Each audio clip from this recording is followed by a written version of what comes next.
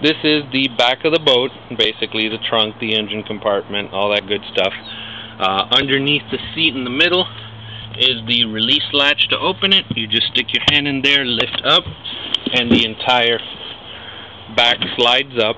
Uh, once it's up, there's several things in here. Uh, on the left, you'll see the compartment. This is the battery.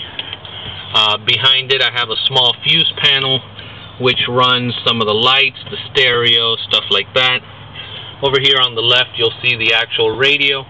It's mounted in here where it's not so exposed to the water. Uh, also in here I've got some miscellaneous stuff. Some extra two-cycle oil. Uh, a spare. This is a spare for the tools to remove the cleanout plugs that I showed you in the other video. I have a spare tool in here. I also have a small toolkit that came with the boat. Basically has a couple little tools to remove the spark plugs, a uh, few things that you might need when out in the water, just a very basic emergency toolkit. This is the flush hose adapter. This is so that if you run the, the boat in uh, salt water or any kind of brackish water, you can flush the motors by connecting it to a garden hose. Uh, this would connect back here in the middle you see these two plugs, the caps unscrew. There's one for each engine.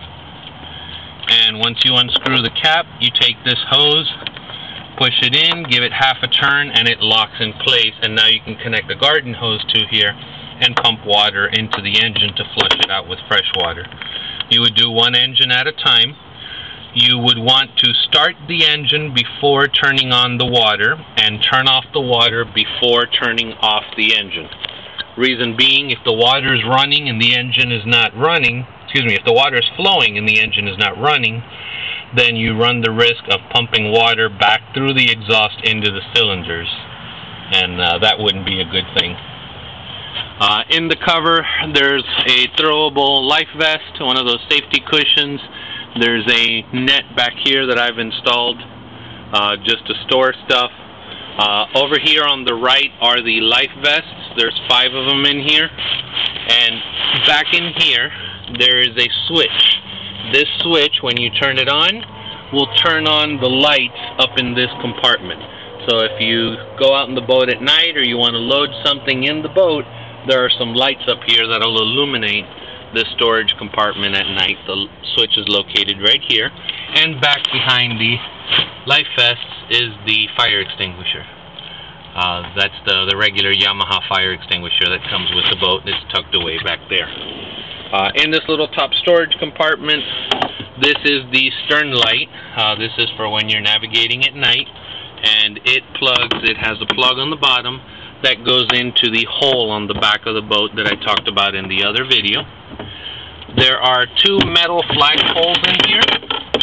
I had these set up. Uh, basically, they connect on the bimini, the canopy for the boat, there's a little fitting on each side with a little thumb screw. Uh, there's one of those on each side where you can attach the flags.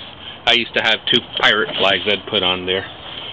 Uh, so I'm including the flag poles with the clips. You just got to buy a couple flags and put it there. I also have a cheap dive flag that I used to use when I used to go in the water Unfortunately, this dive flag has seen much better days, so you'll probably want to get a, a new one. This boat has been converted to premix. Uh, what that means is that you have to mix the oil, the two-cycle oil, and the gas together. It uses a 50 to 1 mixture ratio. And I have a little bottle in here that I use to mix it. It's very simple. Basically, I just pull up to the gas pump.